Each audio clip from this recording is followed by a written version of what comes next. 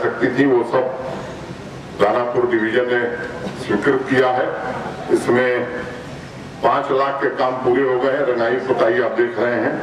और 10 फुट चौड़ा, एक फुट ओवर ब्रिज यहाँ बनाया जाएगा, जिसकी लागत सवा तीन करोड़ से ज़्यादा है। और भी जो यात्री सुविधाएँ हैं, यहाँ सबको प्राप्त हो। मैं समझता हूँ इसका इंतज़ाम भारतीय रेल ने किया है। पिछले चार, साढ़े चार वर्षों में मित्रों, मैं कह सकता हूँ कि केवल देश की राजनीतिक संस्कृति नहीं, बल्कि कार्य संस्कृति भी सम्माननीय प्रधानमंत्री श्रीमान नरेंद्र मोदी जी ने बदली है। अगर भारतीय रेल की मैं बात करूँ तो खास तौर से ये जो हिस्सा है उत्तर प्रदेश और बिहार का, ये रेलवे की सुविधाओं से बहुत वंचित था।